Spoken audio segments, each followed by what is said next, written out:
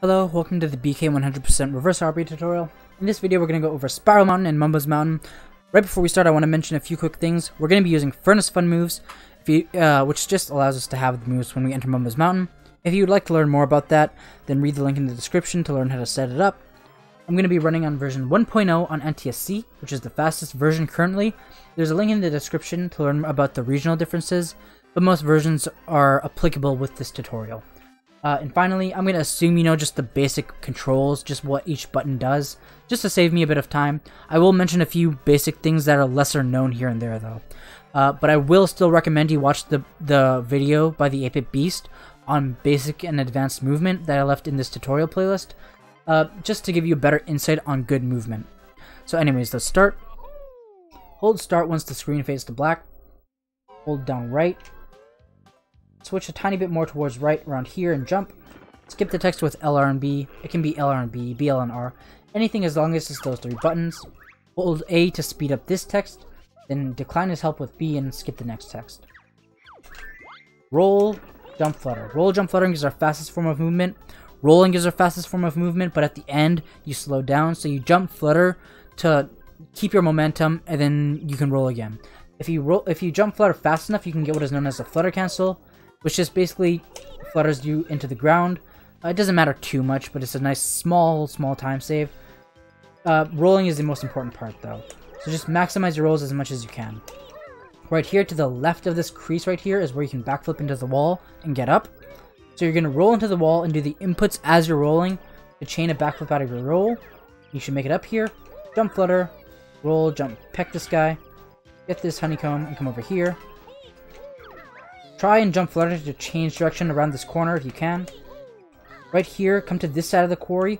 Uh, do a full beak barge up left, so hold B the entire time. Again, hold B the entire time, walk this way. Right at this black mark is where we do our next beak barge. Hold B the entire time. And right at this black dot right here is where we do our last beak barge. Or right before it. Jump for that honeycomb and come over here. And we're to go swimming. Just always hold R while you're swimming to get better turns, and always hold B just to swim as normal. Right here, you want to surface at the end of the stroke, so like right now, just surface right after the fast part of the uh, of the stroke. Come here. We're going to do this trunk jump. So to do this, you want to roll off a bit first and then jump. Then peck right after the peak of your jump. And as long as you take a straight line, you should make it every time. So here, you want to make sure to roll from the middle of the trunk. If you roll from the side, then this will happen. Uh, if you roll from the middle, though, your roll will end in the air, so you won't get a slowdown. Let's come over here. Careful here, don't talk to Bottles. Uh, just don't press B around him. Roll backflip sort of to the left of the tree, just because it's higher ground. So chain a backflip out of your roll. Don't climb up the tree like this.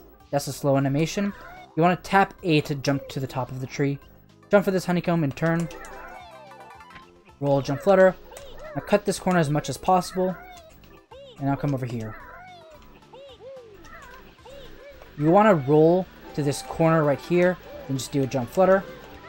And you can just tap R to change the camera. Now we're just going to make our way towards the bridge. We're going to roll, jump, peck, Jump flutter, roll, jump flutter, roll, chain a backflip out of your roll. Right here on this visual cue on the wall, that's where I like to start my backflip. One thing I want to mention about backflips, uh, if you want to roll or get in Talon Trot after a backflip, you have to wait for that, that entire animation to finish. However, you can jump and jump flutter right after a backflip before you can roll. So that's generally what we want to do after most backflips in the game. Uh, and that's what we're going to do here. Oops, I just missed. So, jump flutter, roll, jump flutter, all the way up to Spiral Mountain. So here we're going to do bottle skip. You're going to come around here. Don't go much higher than this, otherwise you'll activate bottles, and go, don't go too low, otherwise you won't get enough height.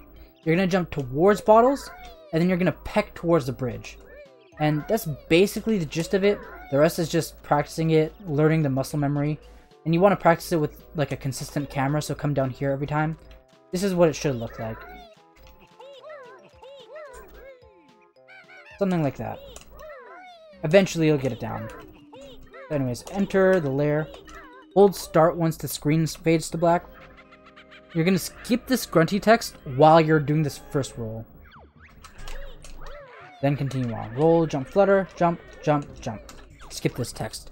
It's important to skip that first grunty text so this Jiggy can talk right away. Roll, flutter, and then we're just going to make our way towards uh, the puzzle. Just really try and maximize your rolls. That's all you can really do. Flutter canceling doesn't really matter that much. It matters more about straight lines and maximizing your rolls. So skip the two text boxes, press A to put the piece in, watch the cutscene, hold a tiny bit left of straight down, and then do a roll. Now we're just going to go enter Mumbo's Mountain. And when we enter, we'll have all the moves. So in Talon Trot, our fastest form of movement, movement is jumping. Uh, it just accelerates us to our fastest uh, speed. It's not necessarily faster though. So full jump for this, hold back after to go land on the token. Get these three notes, come this way, these three, and then these three. Now up here we're going to get two or one here. Just take a straight line and don't hesitate at all. We're going to come back later to get the, the next one. Now enter Ticker's Tower. I'm going to be explaining slope abuse. Um, so normally we need the ticker to go to climb this mountain, uh, because we'll just slide off if we go up here. But when we're when we're when our shadow is on a slope, a timer starts ticking down, and while that timer's ticking down, um, we can do whatever we want. We can bear punch to stall the timer. We can roll to stall, stall the timer. And we can jump off. And once the timer reaches reaches its max, that's when we slide off. But if we get if we jump off and get our shadow off the slope and onto a platform where we can just normally walk, then the timer resets and it starts ticking down again once your shadow goes back on the slope. So if we manipulate that and just go off and on the slope before the timer reaches its max, then we can just climb up slopes indefinitely. So that's how this trick works. This first slope is not a, a slope with Talon Trot. I'm going to recommend you do this uh, first floor with Talon Trot. The second floor, as a beginner, you might want to do it without Talon Trot. Then the third floor, I'd recommend doing it with Talon Trot. To do this, basically, for these for all these platforms, you want to jump onto the front of them and not the sides. If you jump on the slides, th sorry, the sides, it makes it much harder to manage the slope timer. So jump on the front there, then there. But that one's sort of an exception where you can jump on the sides, the side just because you can jump right away. This first floor is not super difficult. It just looks like this. Not many people have trouble with that. Just try and copy what I did there. This next floor, it's pretty difficult because the camera's awkward and you have to change direction a lot. In Talon Trot is harder because you can't change direction in mid-air easily without using an awkward angle on the, on the joystick. It looks like this, if you're curious. Um, but this floor is especially crucial to not jump on the sides of the slopes. You really, really, really, really, really want to jump onto the front of them, and then you can jump to the next one. So, uh, doing this without Talon Trot is much easier, because you can jump in one direction, then flutter in another. So you can jump in front of the slope, and then flutter onto it, like from the front. So you avoid approaching it from the side. That's basically how you're going to do the, the, the second floor. So you can stall your timer here if you want by rolling or or pet or bear punching. But you don't need to. So jump in front of the slope, flutter on, jump in front, flutter on, jump up, flutter in. Now here, the fastest thing to do here is this. Make this in one jump. Whoops. Like that. Like this. Uh, it's a bit finicky. Basically, this floor is not equal here. So right here is a high point. You want to jump to a high point on the slope from the highest point on the ground. Then that'll give you an, enough height to make this in one jump. But that's kind of hard. If you don't want to do that, then come around here. Just jump anywhere on the slope. Then get your shadow off and on. Jump up here. Then just make your way to the top. This right here is not a slope, so just be aware of that. And that's it. Now come over here. Jump all the way up here. Do a jump right under the Jiggy and skip its text. Skip this next text with LB, then tap R. Because if you hold R, then the camera will change.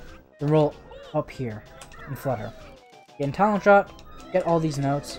and we're to go onto the Stonehenge first.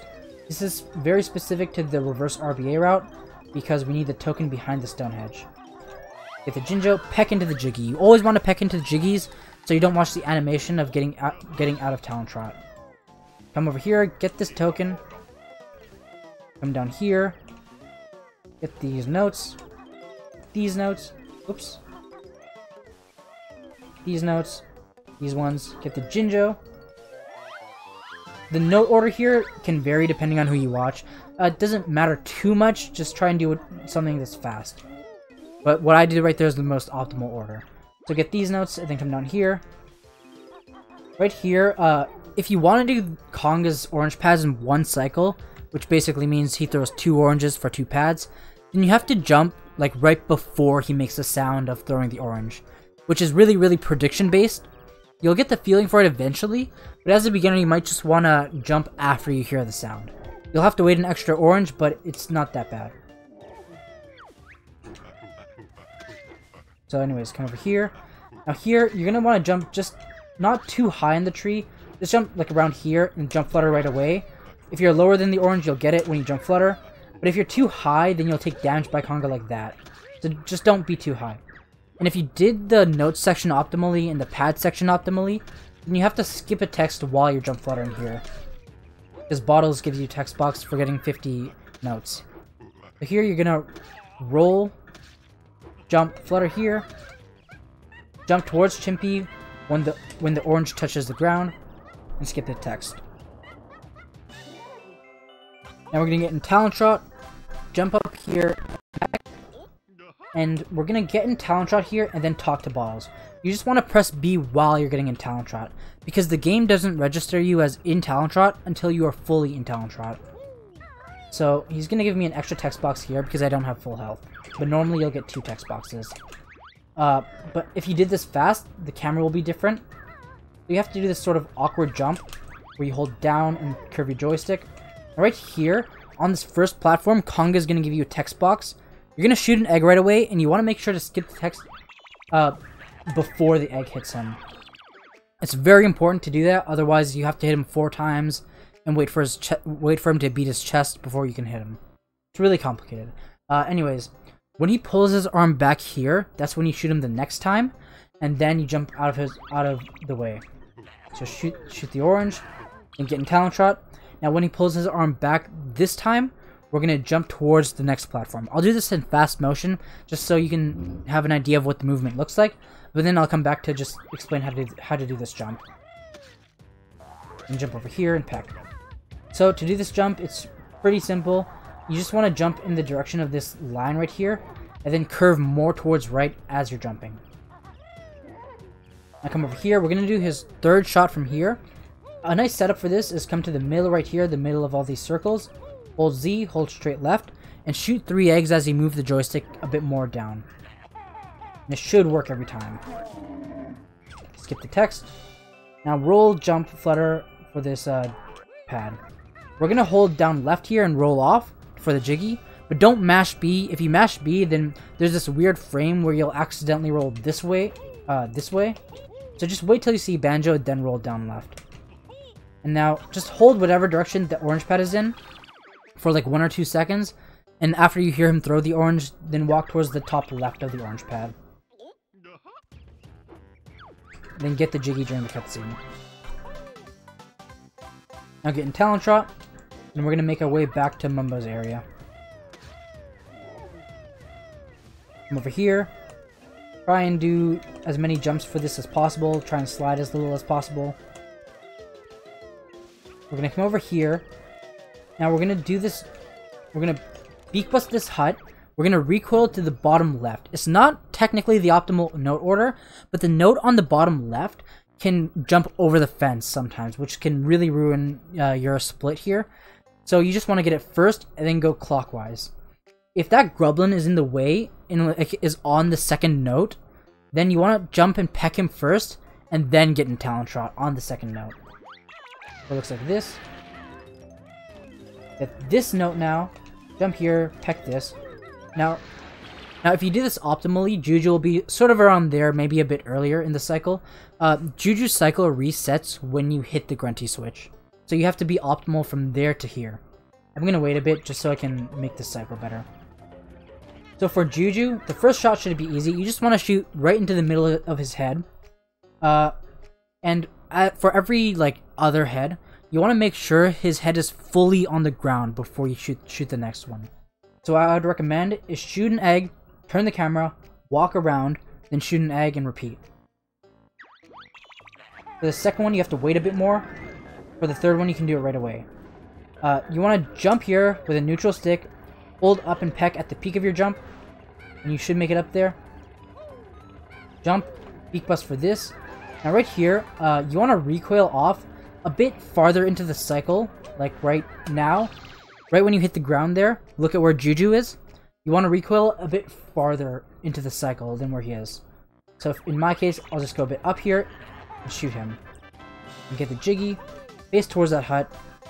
We're gonna roll off, then roll again, jump, beak bust this, roll, jump. Now here, a small detail. If you notice when I jump over this hut, uh, when I overtake the corner, I'm not on the hut yet. I'm in the air for a bit, and that's when you want to beak bust. Right there. Roll for the, roll for that Jinjo, roll, jump, flutter. Hold up a tiny bit here so you have some momentum, and backflip for this Jiggy. Get in Talon Trot as you walk off here, so just hold down, get in Talon Trot. Simple as that, and walk in. Take the path that I do here, try not to wake up Mumbo. Just go around his trigger. It's much nicer to wake him up later. Come this way, jump, tech. I like to zoom out and turn the camera once, just so I can hold straight right after this. Now you're going to roll and jump and beak bust this. I want to mention a small detail here though. You want to jump a bit early. If you look right here, um, right here, look at Banjo's shadow. You can see it sort of moves up and down here. This whole yellow pathway has its own little platform. So if your roll ends on that platform, you'll be able to keep going. But with that, there's a small period in time where you can't jump. So you just want to make sure to jump before you reach the end here, before you reach this little dip. And that's just a small important detail. Equals this and roll into the Jiggy. Get in Talon Trot. We're gonna get these next three notes. These three. Peck into the Jiggy. Now we're gonna get that last note that we left earlier. Come this way. Just do a small jump here, then a big jump towards this alcove. Right at the back wall, you're just gonna hold down. Just do a small jump, baby jump, hold down, and let go of Z. You should get a quick dive. I'll explain quick dives later, because this one's pretty easy, but I'll explain them more in depth in TTC. Now just hold the direction of the first note and mash B, and then swim for all these notes. Go up, hold down right, then hold down. Now we're gonna do a Jinjo Jiggy Jiggy Jig skip. So we're gonna jump back into this Jinjo. Then a Jiggy is gonna go flying into the air, we're to center ourselves in the middle of the Jiggy's shadow. Then once the Jiggy's about to fall on us, we're to jump into the water with the Jiggy. So it should look like this. Just like that. Now, jump peck in the water or jump flutter, it doesn't matter. It doesn't really matter. Jump peck onto this. Oops. Get in Talon Trot. Come over here for these. You can jump for each of these notes, for all these notes like that, or you can just walk. Jumping for them is kind of hard. Come over here, peck onto this pad when you leave. Skip the text. Now, normally I would show the layer sections for the, uh, before the levels, but in this video I'm going to make an exception because I want to show this termite skip. So to do this, we're going to backflip on, bear punch, jump off, and we're going to flutter back on. It's really crucial to flutter to change direction. So it looks like this. Flutter to change direction like that. If you flutter too early, so like this, you won't get any momentum. You want to change direction as you flutter. And then once you go back on the mountain, you're going to jump, flutter, roll. So just mash AAB. So bear punch, get your shadow off the edge, jump flutter back on, mash AAB. Then you're going to roll. Then you're going to do a big jump, so hold A, then beak bust right before you hit the mountain. This is just a big slope abuse. So it should look like that. That's the fastest way to do it. Um, Alternatively, you can an easier way to do this is to do the same thing. So AAB, then ZA instead of AB, then backflip, just to get you more height. Um, a slightly easier way to do both of these is to roll here instead of backflipping, uh, instead of bear punching, because it gives you a tiny bit more height. And then do whatever you want. Uh, the easiest way, though, is to do two slope abuses. So right now we only do one when we bear punch and jump off. But an easier way is to do two slope abuses, where you bear punch, jump off, flutter back on, roll, jump off, flutter back on, roll, backflip. Uh, basically, you just want to jump, uh, flutter back on once you once the shadow's off the mountain. So it's kind of just when it's off the screen. So it looks like this. Oops, I didn't get my shadow off there. Just like that. And you can backflip or just jump. So yeah, that's Mumbo's Mountain. I hope that helps, and I'll see you in the next video.